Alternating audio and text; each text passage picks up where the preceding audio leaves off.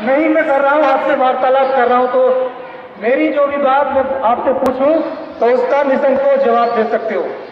मुझसे ऐसे मत बिहेव करना कि मैं कोई आपको लेक्चर देने आया हूँ, या कोई एक टॉपिक पे भाषण दूँगा और चला जाऊँगा। नहीं, जब तक ग्राउंड लेवल पर उसका बदलाव नहीं होगा, तब तक मुझे शांति नहीं मिलेगी।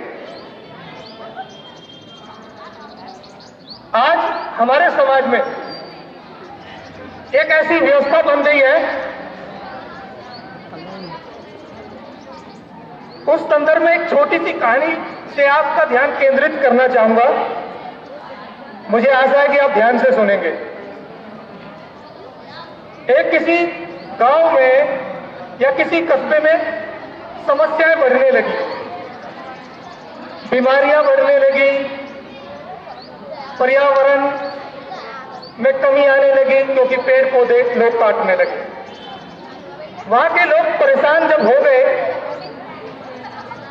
तो उन्होंने इस चिंता